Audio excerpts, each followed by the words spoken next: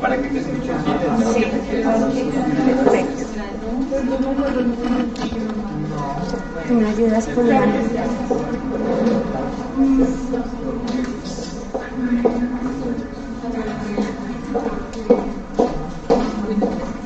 Buenos días.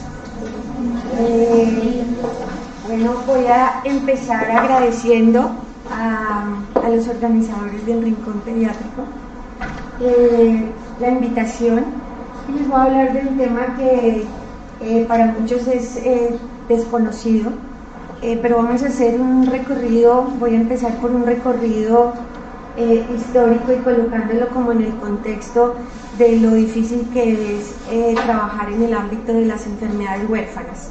Entonces, esta reunión tiene un propósito educativo, como lo tiene el Rincón Pediátrico, y es que eh, el concepto de salud tradicionalmente entendido como ausencia de una, de una enfermedad se ha ido ampliando a través del tiempo a una definición que incluye el estado completo de bienestar físico, psíquico y social, y no meramente a la ausencia de enfermedad.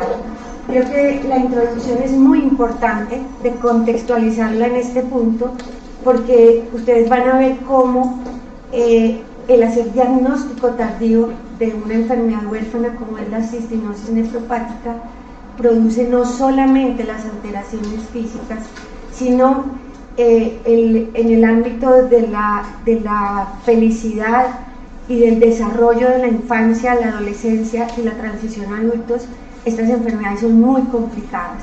Y por eso el diagnóstico temprano de una enfermedad eh, rara es una oportunidad de vida. Y he querido hacer la introducción eh, con esta frase porque es muy importante que si bien se llaman enfermedades huérfanas o raras, el hecho de que no las conozcamos hace que sigan siendo más huérfanas y más raras y no hacemos diagnósticos tempranos.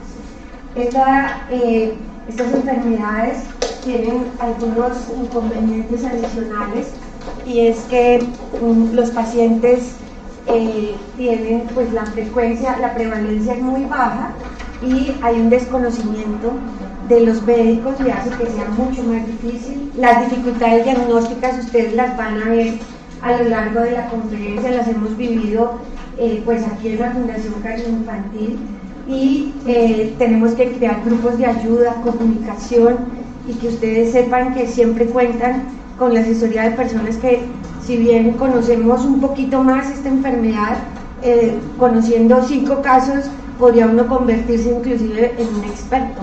Entonces es muy importante eh, entender todo esto. Voy a empezar con los casos clínicos.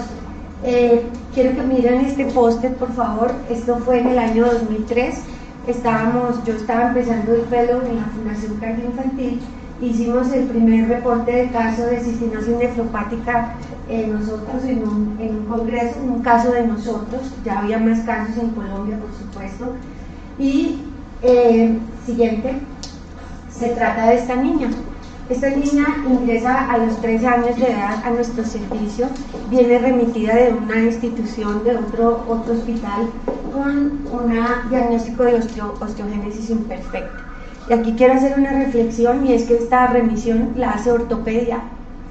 Orto, un ortopedista nos la remite como una osteogénesis imperfecta.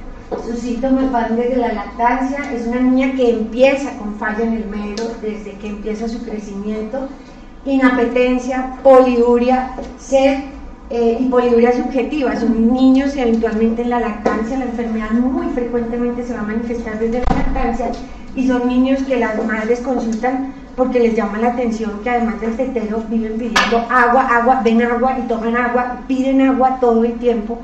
Eh, y eso hace que a veces minimicemos, no, pues es que el niño está creciendo, tiene que tomar agua, ¿verdad?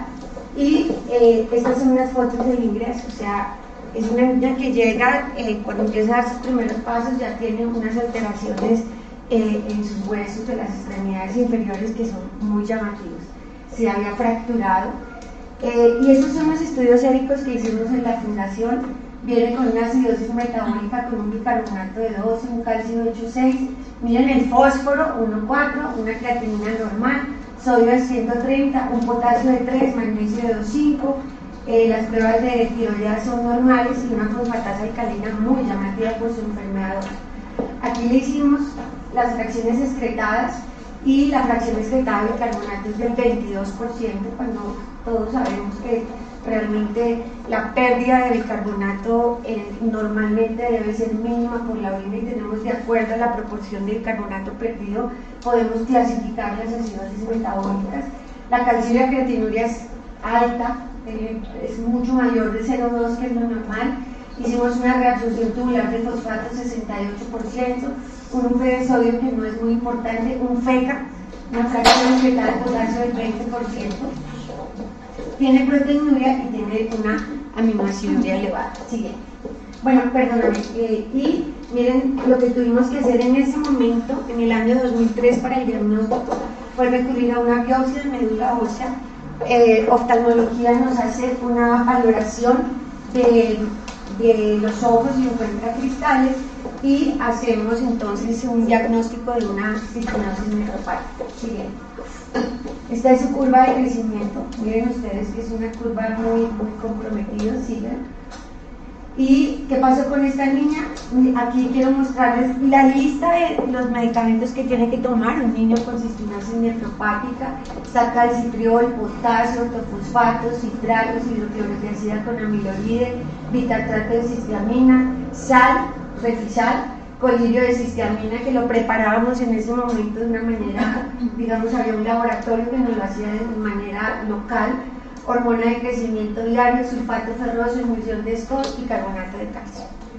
Em, ella eh, recibe regularmente en ese momento el vitaltrato, la recuperación, digamos, de la densidad mineral ósea fue adecuada, llevamos la niña tres cirugías correctivas, mejoró la, hiper, la hipofosfatemia, la hipercalciuria y hubo un deterioro progresivo de la función renal porque en ese momento la EPS eh, tiene muchas dificultades, la familia para que le entreguen los medicamentos son dificultades administrativas que no vamos a ahondar. Nunca se lograron hacer niveles de cistina intraleucoditaria en mi estudio genético porque no se hacía en Colombia, había que mandar la muestra a España, nos llegaba sancochada la muestra. En el año 2014, esta niña, después de un seguimiento bastante irregular, llega a una tasa de 23 mililitros por minuto eh, y se trasladó la familia a vivir a la costa atlántica y en el año 2016 nos, llamó la señora eh, para preguntar si la niña estaba en una lista de espera y esta niña falleció eh, en la costa atlántica. No, no conocemos muy bien el contexto de su desenlace después de todo este trabajo. El caso número 2, vamos en el año 2010, es un varón que nos ingresa aquí a los 3 años, tiene un diagnóstico de ingreso, lo dejamos en rojo, de diabetes insípida. un poquito más el tema de la poliuria, de la polidipsia, el manejo con vasopresina oral nos llega. Tiene hipotiroidismo, antecedente de hipocalcemia severa, con cuadro en un cuadro de diarrea que lo hace llegar a una parálisis flácida. Su historia inició al año de vida, un retardo puberal y avidez por el agua, por eso es clasificado como una diabetes insípida. Eh, estos son los síntomas, poliuria, polidipsia, falla en el medio, volvemos a lo mismo, fotofobia y tenía un retardo leve en el neurodesarrollo. Los hallazgos encontramos hipercalciuria con hipocalcemia y el diagnóstico tiene una tasa de filtración de 0.60, una creatinina de 0.65 que le da 71 mililitros por minuto. Tiene una fósforo, miren ustedes, en 2.3 el fósforo. Tiene una proteína de 1900, de 1494 miligramos. Tiene glucosuria, hipocalemia, hipostenuria y acidosis metabólica. Siguiente. El diagnóstico, ¿cómo lo hicimos? Hicimos diagnóstico de una tubulopatía de Fanconi y en ese momento pudimos hacer unos niveles de cistina intraleucocitaria que fueron mandados eh, al exterior, no se pudieron hacer aquí en Colombia. ¿Cómo evoluciona este niño? El 5 de agosto de 2015 lo llevamos a trasplante renal acá eh, por un donante vivo, su papá donó el riñón, tiene una evolución adecuada, una evolución ocular que está muy bien, tiene una talla baja patológica y este niño tiene unos problemas sociales muy serios. ¿Cuánto tiempo alcanzó a recibir cistiamina? Este niño, es que este niño fue diagnosticado a los tres años, doctor. O sea, los primeros tres años empezó la cistiamina. Siempre tiene problemas sociales, los ha tenido siempre, es una enfermedad desgastante. Ah, eh, en agosto del 2015 tenía como 11 años. 11 años. Sí, claro. Ese niño tiene en este momento como 14, 13 años, 14 años. Es un, eh, iniciamos tardíamente el tratamiento.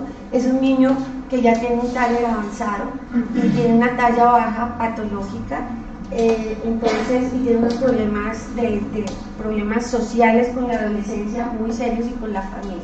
Siguiente. Ahora interesante es... como si se dan cuenta en el caso inicial, manejo que hacía como si fuera diabetes insípida, se puede confundir con diabetes insípida. Y el segundo, como diabetes insípida, venía con diagnóstico. O sea, son diagnósticos diferenciales claves que hay que diferenciar para realmente ir a la causa y no una de las manifestaciones que pueden sugerir otro tipo de enfermedad y que hacen parte también de la manifestación. Exactamente.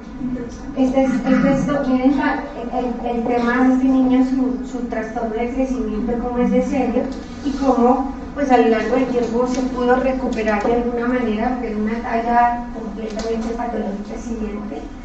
Eh, este ha sido sus creatininas post-trasplante siguiente, ha estado, es un niño que ha estado muy bien. El caso número 3 es una, en el año 2012, es una niña de 13 meses que ingresa con un cuadro clínico de 15 días de evolución, tiene una infección urinaria, recibe tratamiento con infección urinaria y eh, presenta hipotonía generalizada, episodios eméticos, es remitida de una clínica de Bogotá eh, y los laboratorios, pues porque preocuparon los laboratorios, tiene hipocalcemia severa y el parcial de orina en el tratamiento de la infección de vías urinarias tiene glucosuria. Entonces, ah, recuerden el niño anterior, glucosuria, este paciente tiene glucosuria y ha empezado a hacer falla en el medio. Eh, ah, interesante. Que les comentaba aquí a las compañeras que realmente este es el estudio de edad en el cual los norteamericanos diagnostican con más frecuencia. Al, nacer puede presentar un desarrollo por la adecuado, solo se manifiesta del sexto al mes 12 y ahí en adelante es el diagnóstico tempranísimo. Este sí estuvo muy temprano. Y ya desde ese punto de vista para un manejo mucho más temprano y prevenir el resto de secuelas extrarrenales y amortiguar las señales Entonces, aquí lo más llamativo y quiero que se den cuenta es de la sintomatología del lactante para enfatizar. El paciente tiene hipotonía, no severa, una succión débil, todos conocemos esta pacientica que no hacía succión, tenía hipersensibilidad, botaba la lengua, eh, no deglutía, o sea, un, tema de succión muy débil, falla en el medio, poliuria, polidipsia, inapetencia. ¿Qué encontramos? Glucosuria. El parcial tenía hipofosfatemia, hiperfosfaturia, acidosis metabólica, hipospinuria, aminoaciduria, proteinuria, hipomagnesemia, hipocalemia, hipocalcemia e hipercalciuria. O sea, era una tubulopatía compleja. ¿Cómo hicimos el diagnóstico? Esta niña es campeona. Pudimos hacer el diagnóstico de cistina en leucocitos muy rápidamente y hicimos el diagnóstico molecular. Se hizo la prueba de genética. Ya en Colombia tenemos todos los paneles de nueva generación para hacer los diagnósticos de las mutaciones que son monogénicas, los paneles de nueva generación para buscar mutaciones, variantes de carácter incierto, o sea, desde el número de copias que nos pueden determinar algunas variantes de carácter incierto, pero tenemos todas las posibilidades de hacer en Colombia estamos hablando eh, de este es uno de los casos más recientes siguientes.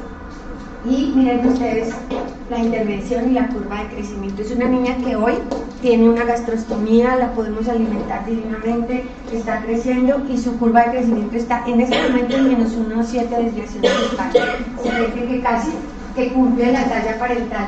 Aquí miren ustedes, eh, era lactante y empezamos a tener eh, ya insuficiencia renal y miren con el tratamiento, esta niña ya tiene 4 o 5 años de tratamiento y la creatinina se ha estabilizado divinamente y podría ser hoy normal para ella. Siguiente.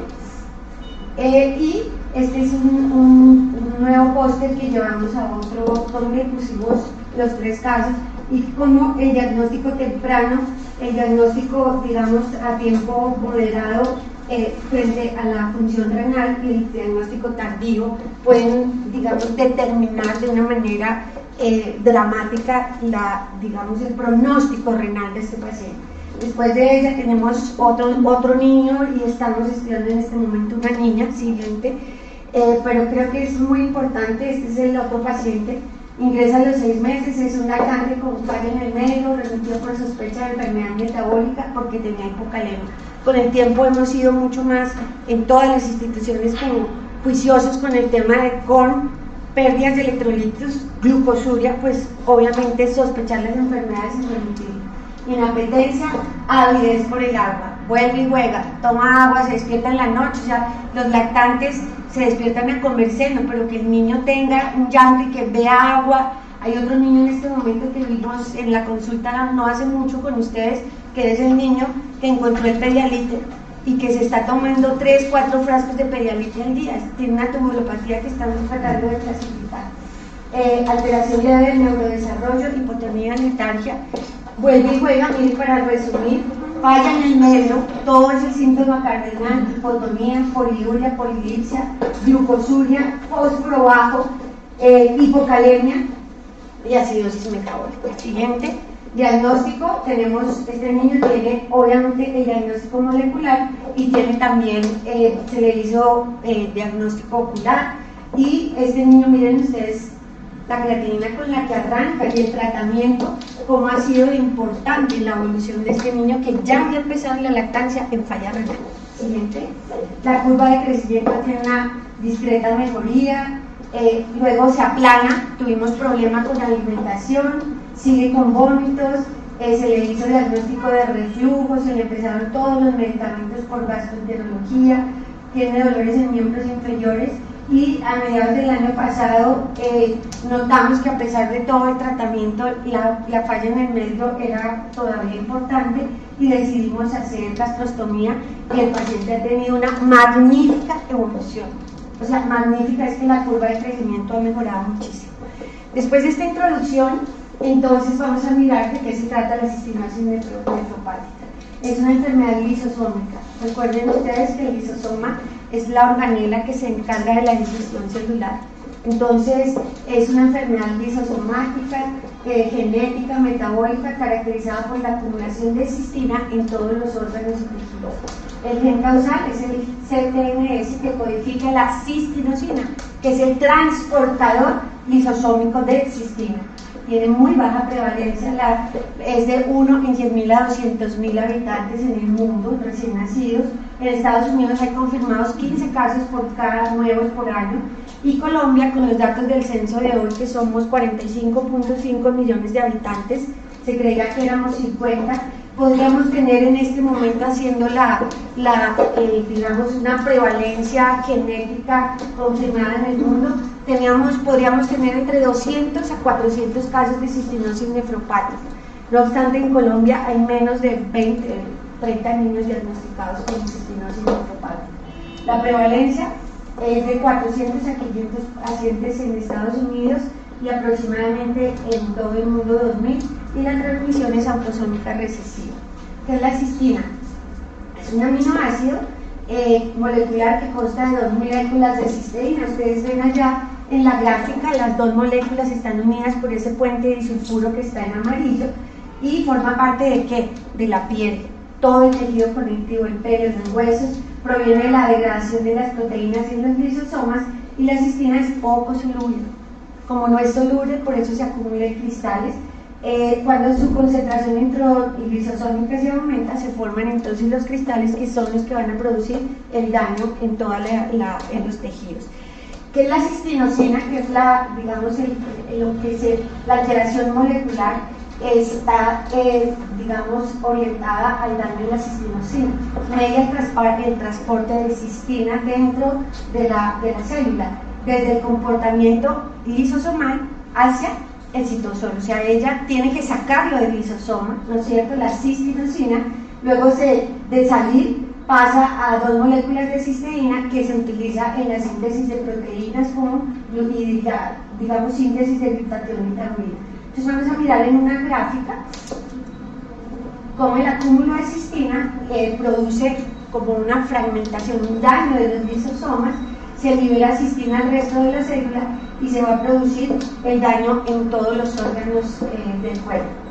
Eh, aquí vemos en, la parte superior cómo sería el transporte normal de una, de un, en un lisosoma cuando hay cistinosina, ¿no es cierto? Puente disulfuro, aquí están las dos moléculas que se rompen, salen y se produce la síntesis proteica que decíamos eh, a través de la formación para eh, glutatión y taurino.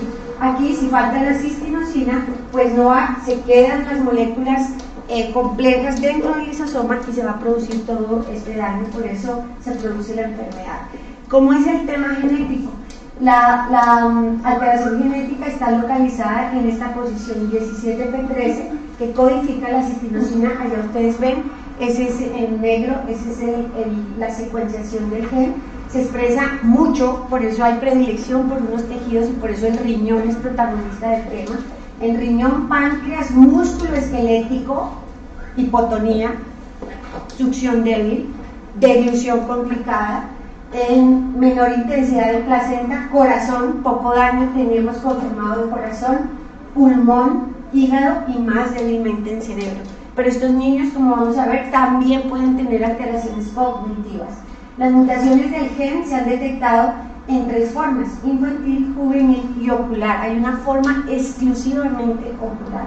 Los individuos con cistinosis infantil, que es la que nos interesa más, tienen mutaciones graves en ambos alelos y los pacientes con las formas más leves presentan una combinación de una mutación leve y una mutación severa o dos mutaciones severas. Siguiente.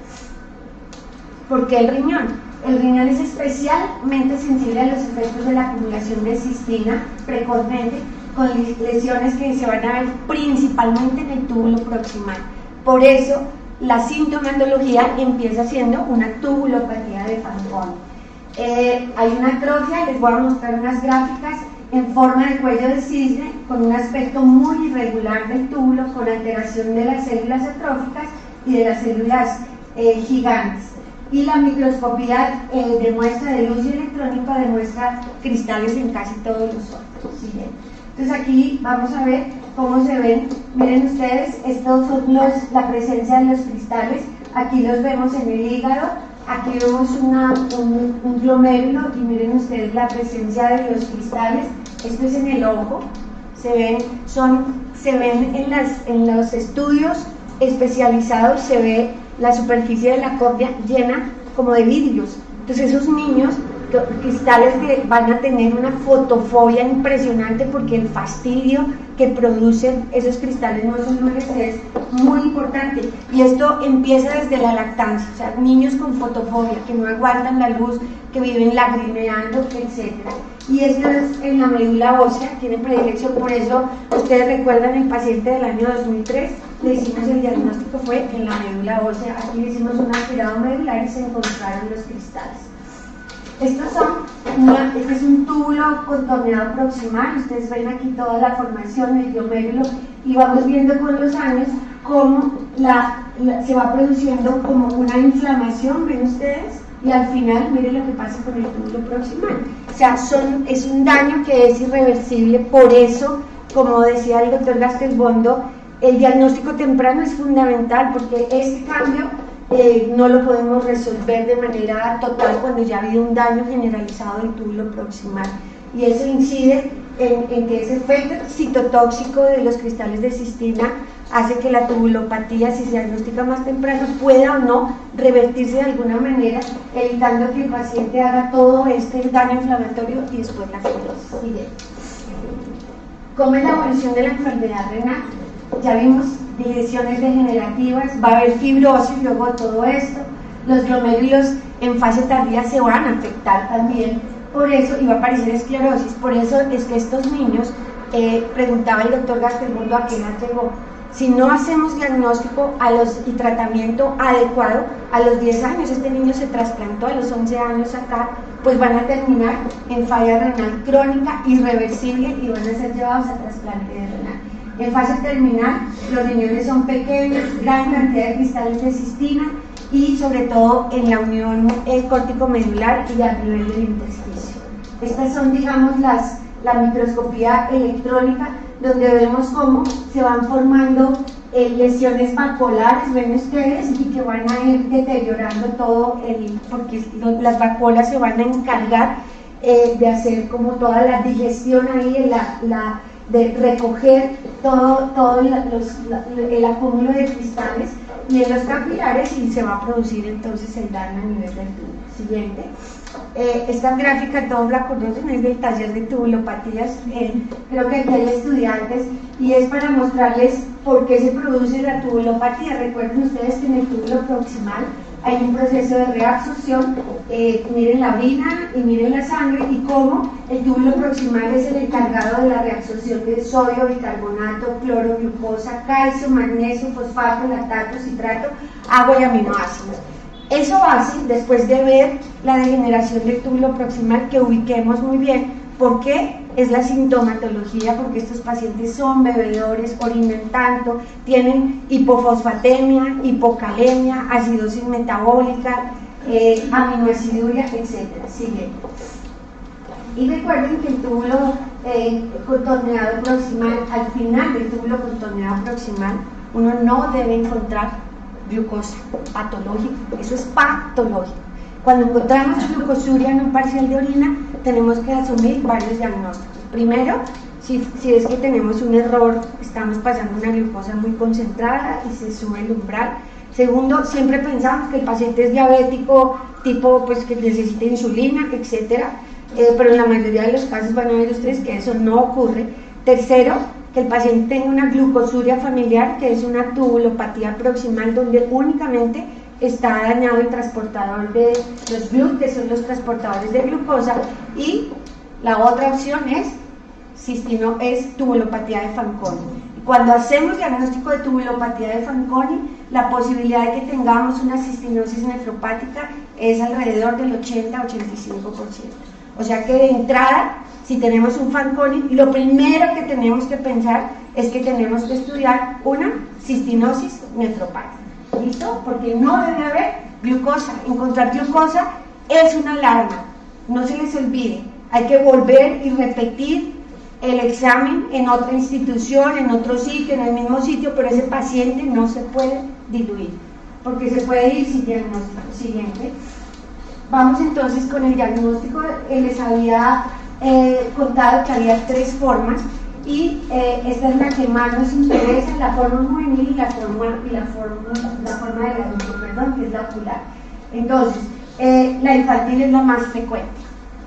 Si tengo un Fanconi, 80-85% de probabilidad de que tenga una cistinosis. Y la más frecuente es que empiece en nuestros pacientes, en los pacientes pequeños, lactantes, eh, entre los 6, 13, 6 meses, síndrome de Fanconi, se, empieza la tubulopatía. Ah, entre los 12 y 18 meses va a empezar a haber deterioro de la función renal. Si no hay tratamiento específico, se cumplió en nuestro paciente. A los 10 años están en falla renal irreversible y hay una afectación sistémica. ¿Cómo hacemos la medición de los niveles de cistina en Colombia? Facilísimo. Estamos al día, se manda una muestra de sangre, concentraciones de cistina en leucocitos y en estos pacientes van a estar entre 5 y 15 nanomoles de hemicistina por miligramo de proteína. No me pregunten cómo se mide, por favor. Preguntas capciosas hacer. En la forma juvenil es, una, es la denominada intermedia o de inicio tardío. Es poco frecuente va a estar entre los 12 y 17 años, la afectación renal va a ser menos importante que en la infantil y se va a hacerse diagnóstico porque el paciente, por ejemplo, aparece con proteinuria, puede tener fotofobia, puede tener algo de sed, pero, de sed, pero no es una forma tan dramática como la que vemos en estos niños. Evoluciona hacia insuficiencia renal terminal entre los 20 y los 30 años y las concentraciones de cistina en leucocitos están entre 3 y 6 nanomoles de hemicistina por miligramo de proteína. Aquí 5 a 15 y aquí estamos entre 3 y 6. O sea, es una forma intermedia, ¿no es cierto? Y recuerden la edad. Y la de adulto es muy rara, eh, no hay afectación renal, solo es afectación ocular, se van a ver eh, cristales en la córnea y va a ser el cuadro caracterizado por los, las molestias oculares.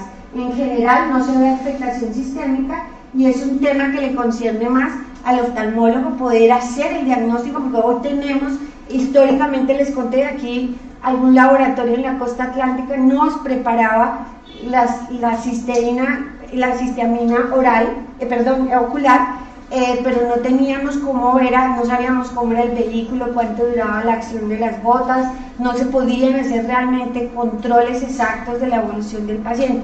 Hoy tenemos el producto en Colombia, es, es digamos, eh, eh, una gota preparada para que el paciente la coloque con cierta frecuencia y eso va a hacer que los cristales de alguna manera puedan disminuir su, su acúmulo, se disuelvan y no se presente la... porque estos pacientes pueden llegar a ceguera, ¿no es cierto? Los pacientes con cistinosis tienen agudeza visual muy baja e inclusive está reportada la, la ceguera al mismo tiempo que la enfermedad renal terminal. Más o menos en la, entre los 10 y los 15 años puede haber ceguera si no se trata.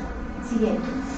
Este es el protocolo nacional. ACONEPE ha trabajado con con eh, el laboratorio y la, casa que, pues, nos ha apoyado realmente en que podamos hacer diagnóstico, que es recordar y aquí les muestro, eh, ellos hicieron un convenio con la Universidad Javeriana eh, y a pesar de todas las dificultades que pueda generarse, los equipos, todo lo que se tiene que hacer para este, se hizo un estudio en Colombia y ya tenemos, digamos, cuáles son los valores que serían para la población colombiana permisivos que están igual de alguna manera parece, pues son los mismos que están reportados en la literatura, pero es un estudio ya hecho en Colombia y se puede hacer el diagnóstico y las muestras se obtienen rápidamente, ya a la semana tenemos el diagnóstico de el primer paso que es luego de la clínica hacer los niveles de cistina en linfocitos. Siguiente.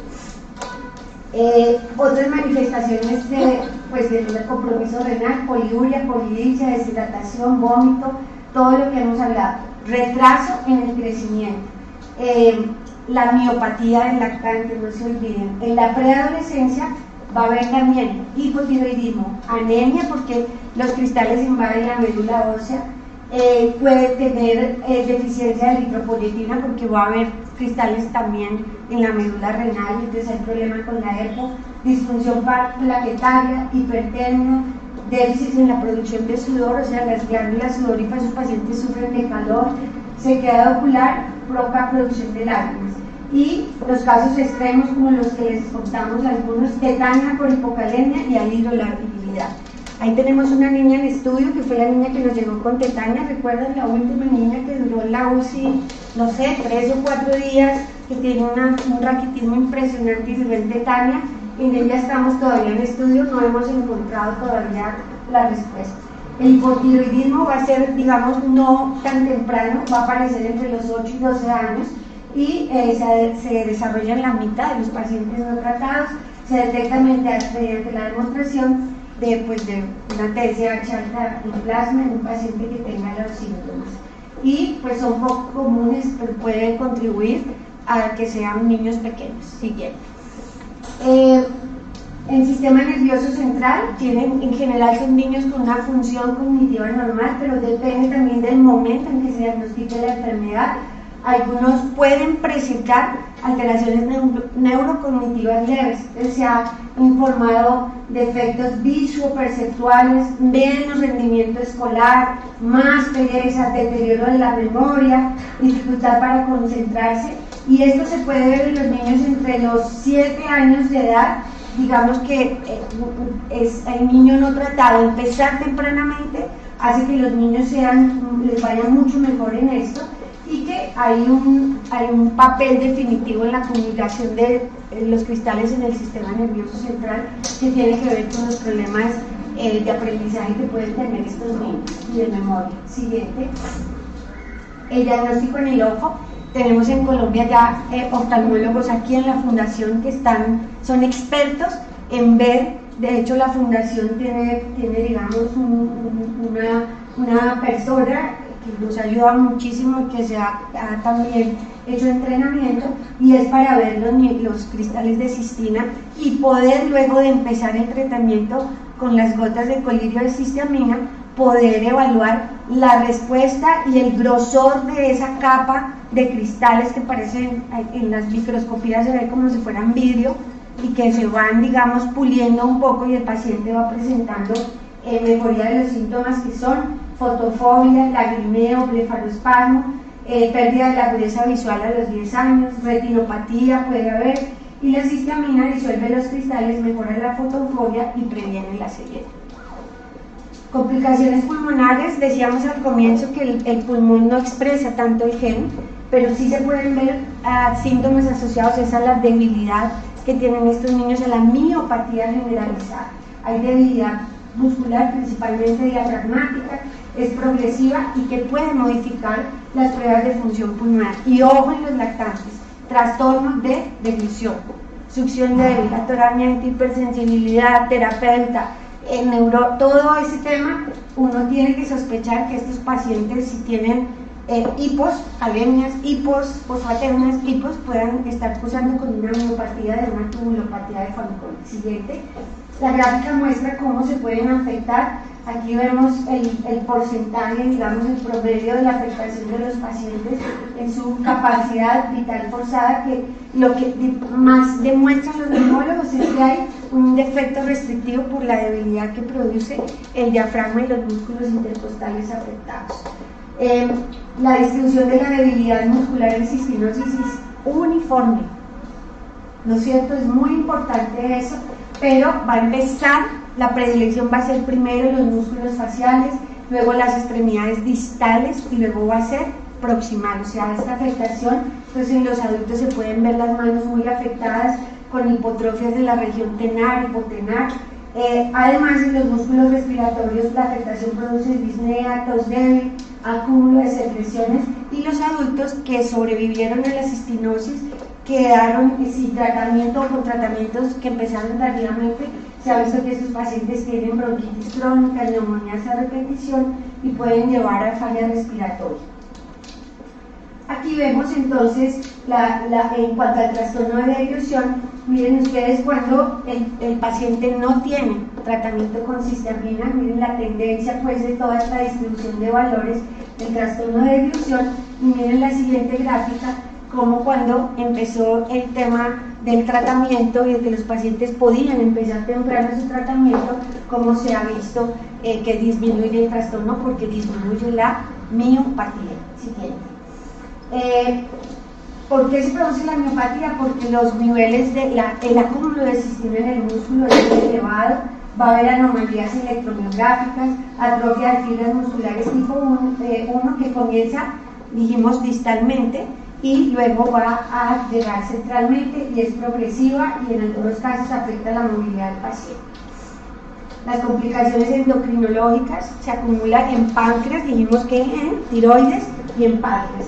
Generalmente se desarrolla durante la adolescencia, o sea, el compromiso de la tiroides y del páncreas va a ser en los adolescentes, ¿no es cierto? A la edad o en la edad adulta, en el 5% de los pacientes Inicialmente hay una respuesta adecuada a la insulina en 100% de los pacientes eh, y el uso de esteroides post-trasplante puede aumentar la frecuencia de la diabetes. Y aquí es muy importante recordar, a pesar del de el trasplante de estos pacientes, la doctora Natalia Mejía presentó ahora en el Congreso de la Asociación Colombiana de Nefrología un caso de un paciente trasplantado por ella en la Fundación Santa Fe eh, que hizo una diabetes mellitus post-trasplante.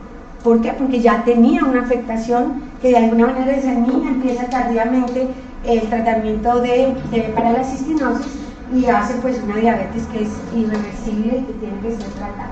Hipogonadismo, aunque la función gonadal del desarrollo sexual suele ser en las mujeres normales, con embarazos exitosos y nacimientos, el hipogonadismo masculino es muy, muy frecuente Está informado hasta en el 70% de los pacientes no tratados y pueden, obviamente, tienen pubertad retrasada, es el problema, el problema que tiene el paciente que les comenté, los testículos o las zonas van a ser pequeños, bajos niveles de testosterona y eh, el acúmulo de cistina pues hace que estos niños tengan eh, fibrosis y hacen siguiente El retraso del crecimiento pues es evidente, es uno de los pilares del diagnóstico, es más profundo en cistinosis que en otras formas de enfermedad renal crónica.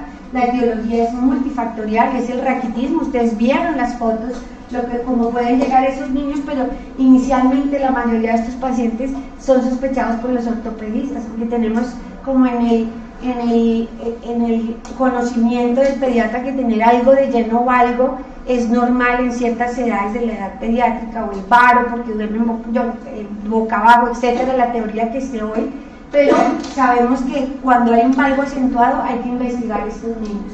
Eh, la altura final antes del tratamiento en promedio para los adultos era 136 centímetros para el varón y 124 para las niñas. El pronóstico ha ido mejorando luego del tratamiento, la cistiamina mejora el tratamiento, pero en muchos casos es insuficiente y eh, se puede usar hormona de crecimiento. Estos pacientes no tenemos ningún problema, cumplen los criterios para uso de hormona de, tratamiento, de crecimiento y pueden llegar con el tratamiento, digamos, y si se empieza tempranamente, la última paciente está en menos 1.7 desviaciones estándar, o sea, tener tallas bajas cercanas a lo normal o normales si empezamos el tratamiento temprano. Este es el, tema del hipotiroidismo. Miren ustedes la supervivencia del paciente sin tratamiento de hormona de, tiroidea y cómo cuando se ha empezado la hormona tiroidea, la función tiroidea puede mantenerse muy bien, mientras que en las líneas que están eh, que no son continuas, vemos los pacientes no tratados como la función tiroidea sin tratamiento pues va a caer siguiente. Trastorno de crecimiento empeorado entonces por hipotiroidismo y por raquitismo y por falla renal, o sea, es una talla baja final muy, muy patológica porque la etiología pues tiene, tiene todas las manifestaciones endocrinológicas óseas para no hacerlo bien. Siguiente. Este es el fenotipo un poco de los pacientes, entonces quiero que miren, bueno, lo, ya vimos los cristales, eh, cómo se empieza a atrofiar en los adultos que sobrevivieron la miopatía, va a ser primero distal luego proximal, pero miren lo que tienen estos pacientes, atrofia en las regiones, eh, en las manitos, la caja torácica va a ser un poco más, aquí la doctora se está mirando mucho la mano. Eh, tenemos tenemos la caja torácica de un adulto pues, es, es, tiene poco músculo, digamos, atrofia muscular, eh, en general son niños rubiecitos blancos, pero también la niña que murió en la costa atlántica era, era de raza negra y cómo se altera el tema eh, óseo pues, de manera muy importante. Bioquímico, entonces ya tenemos claro que tenemos que hacer diagnóstico de cistina en leucocitos, se hace en Colombia, la semana lo tenemos y no tenemos ningún problema con esto. Eh, la, recordatimos está facilitando la realización de la prueba y no tenemos que hacer pues trámites, digamos, en este momento porque no figura en las plataformas. Y aquí están los niveles de cistina que estamos manejando para la forma infantil, juvenil y de adulto. Doctora, ¿lo está haciendo la CPS? No, no tiene, no tiene código en el, en el CUPS, entonces es una prueba nueva, entonces se hace a través, si hay una sospecha, ustedes se comunican o nos comunican y nosotros los conectamos ah, y ellos ellos eh, remiten el paciente, el laboratorio no, no contacta al paciente, sino eh, remiten al paciente al laboratorio de la Javeriana para que se haga la muestra. Una inquietud, Estela, normalidad 0.2, esto es de Norteamérica pero el que tienen aquí en Colombia creo que es 0,3. Sí, 0,3. El 0,3 es la normalidad de la población colombiana, entonces a veces tenemos que repetir para hacer bien el diagnóstico y pasar enseguida entonces al estudio, eh, a la confirmación molecular. Eh, la confirmación molecular pues se hace pidiendo las mutaciones para el gen de, la cistinosis nefropática, que es este gen que ya les dije, el CTMS, y em, digamos que tienen, miren ustedes, 60 a 70% tienen la lesión que está ya, no me pregunten pues mucho de allá, pero es una lesión 57 KB que afecta los 10 primeros exones, miren la claridad del exón allá, y las mutaciones puntuales afectan el terminal de la proteína. Es muy importante, pero lo podemos hacer, o sea, este diagnóstico los hemos hecho y la demora son dos o tres meses y está la mutación, ¿ok?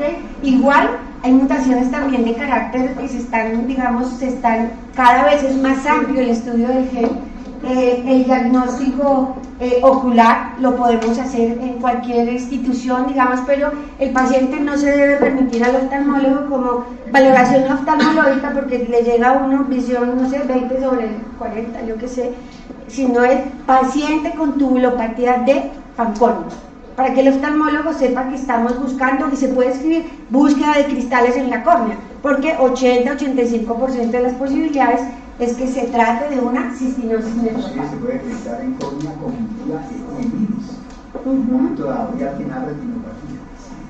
Bueno, aquí tenemos entonces eh, qué es lo que hace el tratamiento, el, el, fármaco que está autorizado en Colombia y que tiene el código, eh, es el, el de sistamina que se llama Cistagón Sistagón tiene pues todo el, trámite eh, del medicamento no post para enfermedad huérfana, está en el MITRES. Eh, y ¿qué es lo que hace? Es, es, un poquito complicado entender la biología molecular, pero recuerden ustedes que la molécula eh, tenía que tener el transportador la cistinosina para poderla sacar como, como las, digamos, las dos moléculas de cistina. Lo que sucede acá es que el bitartrato de cistamina lo que hace es que forma un complejo que se llama cisteína-cistamina y que utiliza el transportador de lisina para sacar, o sea, hace como una, como una, ¿cómo se llama eso? Un uso de otro transportador, se me olvida el nombre exacto, pero es usa otro transportador para sacar las dos moléculas del lisosoma y poder hacer toda la distribución al citosol y que se vaya la formación de proteínas. Siguiente.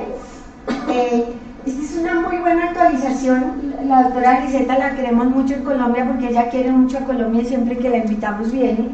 Y eh, pues desde que ella pueda, y ella tiene, esta publicación es muy reciente y tiene como a detalle todas las el manejo muy detallado y muy bonito y es una cosa que me parece como un reporte bien interesante del día a día de los pacientes con eh, cistidosis nefropática y cómo se deben tratar. Siguiente. A mí es interesante ella con una endometracina. Sí, sí, sí, para, para reducir la poliuria. Sí, sí, nosotros tenemos problemas aquí para conseguir el medicamento. Eh, ¿Qué hace el cistagón? Retarda la mejoría o evita la progresión de la falla renal, hay una mejoría hidroelectrolítica, la afectación tubular es menos intensa. Si ya hay daño en cuello de cisne, el paciente va a seguir con mucha sed, pero ¿qué es lo, eh, qué es lo que hemos notado luego del tratamiento adecuado y de poder graduar los niveles de cistina intraleucocitaria? Es que el paciente tiene menos avidez por el agua, controla mejor, dejan de tomar toda esa lista que yo les puse de medicamentos de aquella pacientica y en general las dosis son muy bajas o ninguna de, para tomar, eh, de tomar todos estos medicamentos que son para pues, reponer las pérdidas que se, que se tienen eh, por la tubulopatía. Las dosis son variables y el objetivo es la reducción. O sea, monitorizamos con cistina intraleucocitaria. Las concentraciones deben en general ser inferiores a un nanomol de cistina por miligramo de proteína. Entonces lo vamos eh, titulando y la dosis de inicio es 10 miligramos por kilo por día, repartido en cistagón en cuatro dosis. Hay otra fórmula en Colombia que no tiene el registro en VIMA eh, y que es, de larga duración, pero no tenemos, digamos, como la experiencia en el registro en VIMA y los pacientes pues manejados con cistagón eh, tienen una, una respuesta adecuada. Eh, y el colirio de sistamina que existe hoy en Colombia también para los ojos, siguiente, ya con todas las especificaciones técnicas.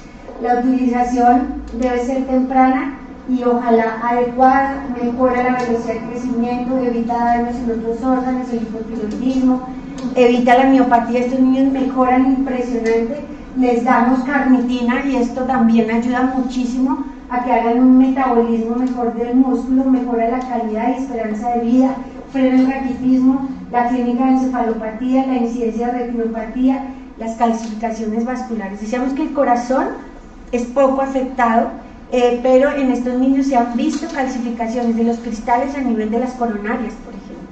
O sea es una, una cosa que, que puede afectar también la vida cardiovascular y mejora la esperanza de vida del paciente.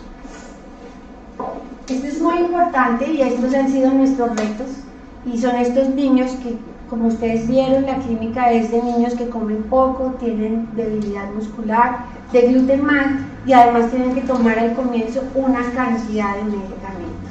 Entonces la experiencia nos ha demostrado que en el lactante si tenemos dificultades no hay que tirar la toalla, hay que seguir insistiendo en que el paciente además el tratamiento es cada seis horas con cistagón, entonces hay que hacer que el paciente reciba las dosis que sean y la literatura mundial hoy avala la eh, consideración del uso de la gastrostomía en estos pacientes para mejorar la tolerancia a todos los medicamentos, mejorar la miopatía, el crecimiento, mientras el paciente puede tolerar mejor toda la cantidad, se pueden lograr disminuir los medicamentos, va a crecer mejor y en algún momento de su infancia eh, retirar la gastrostomía cuando ya hayan superado todas las dificultades iniciales, porque estos niños son vomitadores al 200%. Y es la misma, el mismo trastorno esofágico, el mismo reflujo que produce la enfermedad por la miopatía esofágica y por la miopatía a nivel de la cámara pues del estómago. Entonces es considerar si tenemos que, y ya en nuestros pacientes lo tenemos, al comienzo lo dudamos, hoy lo tenemos como hecho, nuestros pacientes llevan, los pequeños llevan gastrostomía y no tenemos ninguna dificultad con eso. Las mamás agradecen la gastrostomía. Em, bueno, entonces para hablar un poco de las conclusiones, el cuadro clínico cardinal, recuerden por los ejemplos que les mostré, la falla en el medio niños bebedores, hay que preguntar qué tanto bebe, lo despierta en la noche, ese niño por qué se tiene que tomar tres y cuatro vasos de frascos de pedialite en un día y solo prefiere el, el pedialite, porque el cuerpo encontró una posibilidad de pues de, que se siente mejor con el aporte de electrolitos y la mamá la pregunta del millón, ¿no? Le doy del de 60 o el de 90, del que le guste. sí, pero, pero eso no es normal, o sea, eso es un niño con tubulopatía y hay que estudiarlo y no minimizar como está creciendo, pues tiene que tomar agua, eh, es que le está dando mucha agua y por eso no crece, es nuestra interpretación. ¿no? Es como le da tanta agua, pues cómo va a crecer, cómo va a engordar. O sea, tenemos que pensar un poquito más, porque la historia nos ha demostrado que estos niñitos lactantes son muy difíciles de, de diagnosticar. Y segundo, un parcial de orina no se le niega a nadie y una glucosuria prende las alarmas. Igual, alarma al niño que se deshidrata y que tiene una densidad de 1005 y que llega choqueado uno no puede deshidratarse y tener una densidad de 1005 en el parcial de Bueno, eh, la otra conclusión, en Colombia tenemos las alternativas de diagnóstico y manejo para medir los niveles de cistina, para hacer el panel genético, todos los estudios tubulares y poder hacer un buen tratamiento. O sea, no tenemos hoy ninguna excusa para hacer el estudio y seguimiento de estos niños. La valoración oftalmológica está al día en una institución como esta en Bogotá. Varias instituciones lo hacen muy bien. Hay que tener una comunicación directa con genética, gastropediatría, neurología, oftalmología, nefrología y por supuesto con pediatría. Esto nace de la sospecha de los pediatras que creemos que síntomas vagos como lo que les estoy mostrando y que la falla en el medio hay que darle una, un contexto de estudio importante, sobre todo en esos niños que se nos están colgando muy rápido. Esfuerzo en educación y adherencia. Siguiente. Este es un instrumento que eh, hicimos eh, desde la Sociedad Colombiana de Nefrología Pediátrica eh, y que pretendió dejar, digamos, claros los niveles de el estudio, la sospecha diagnóstica y los niveles de cistina para recordar y para enfatizar que en Colombia podemos hacer el diagnóstico con la clínica y empezar a hacer la medición de cistina en leucocitos siguiente.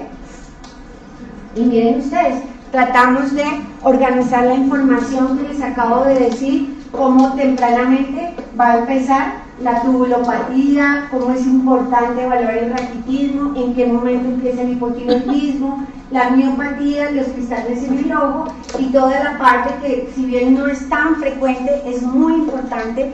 Estoy seguro que nadie va a diagnosticar una cistinosis porque al niño le va bien mal en el colegio, perdón, porque es necio, porque, pero esos niños van a tener compromisos neurológicos y miren el compromiso neurológico donde está. O sea, es muy importante eh, recordar este, este, esta línea de tiempo de la enfermedad para poder hacer un diagnóstico a tiempo y a, un tratamiento adecuado. Siguiente, muchas gracias. Muchas gracias.